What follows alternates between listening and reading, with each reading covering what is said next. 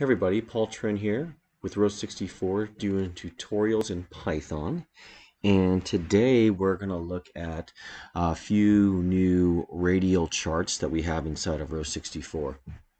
So I'm going to pop open here Row64 2.0 and we've got basically uh, a wonderful new uh, template system. If you if this is your first time uh, downloading Row64, feel free to just jump into a template to quickly see some sample projects. I'm going to close this out right now because we're only really interested in showing you guys how to do some great uh, new radial charts. But if you click on recipes over here, a little screen will pop up and you can go to charts. And here is the new section right here on the third third option here. If you click on radial charts, we have for for version 2.0 four new um, data science recipes that make circular bar charts, donut charts, pie charts, and uh, radar plots. So I'm just going to quickly go through examples of each of these. Uh, as you would expect, if you click on example, a new data frame shows up. You can see the super simple syntax here on the on the left. That is, you know, uh, Row64's super easy spreadsheet style notation, and the data set that comes in that's loaded, and uh, the various, uh, you know, data that we have on the left and on the right we have the sample visualization. Obviously if you want to see the Python that enables all of this click on both here or you can click on Python and you will see the entire uh, Python that's being generated here.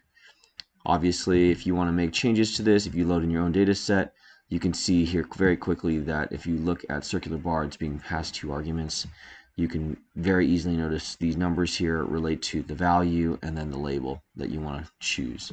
So as you can see in the data here, we've selected the values and the labels. And once you hit run, this, this wonderful visualization comes out.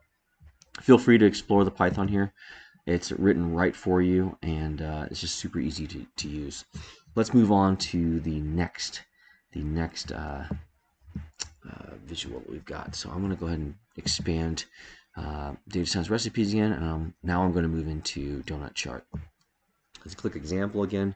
Again, uh, notice that a new data frame opens up as well as a new visual.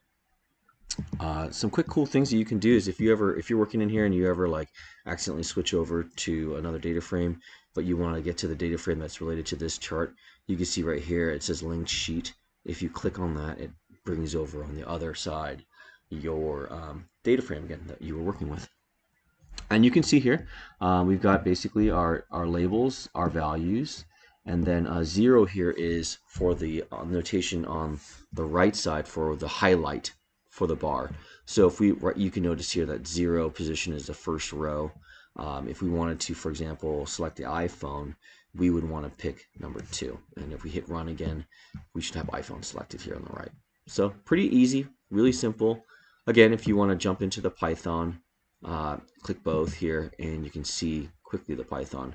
Obviously, the, the wonderful thing is about Row 64 is it's very powerful. You can, you know, uh, for example, if you knew, uh, if you're learning how to do color maps and you don't want, you don't like this gray, for example, um, you could quickly run like a Google search. If you ran a Google search, you might find um, this matplotlib article that talks about, you know, uh, color maps so we've had selected grays here. Uh, obviously, you could choose all kinds of things. The options are pretty, pretty limitless. So let's say, for example, I even chose Prism, right? I could change grays here to Prism, right? And hit run, and you'll notice all the other ones kind of update. So just give you a little bit of crash course on how powerful and how versatile uh, Row64 is with um, custom Python uh, enabling. Uh, let's see here. Okay, so we'll go back to data science recipes. Now that you've seen the, the donut chart, let's move right into the pie chart. Similar data set. We're loading, that same exact phone data set. You can see here, rather than it being a donut chart, it's a pie chart. And it's the same same concept. You can, you know, number one here is delineating uh, that we're choosing Samsung. But if we want to choose iPhone again, we would choose number two you click run and that'll just move right over to iPhone. Um, the final uh, spreadsheet, oh, sorry, the final radial chart that we have is the radar plot. And you can see here, if I click on example, a new data frame appears as well as a new data set. And you can see here radar plot is super cool, super fun.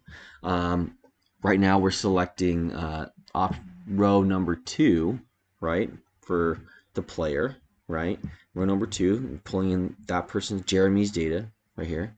And you can see here that, you know, Jeremy's a great rebounder, which makes sense with this data set here, right? If we want to highlight Sam, for example, we would just change this value to zero. You hit run, and bam, you can see this is uh, as expected. Sam is just a wonderful team player and a wonderful defensive player. So he's probably like he's probably like DeAndre Jordan, right?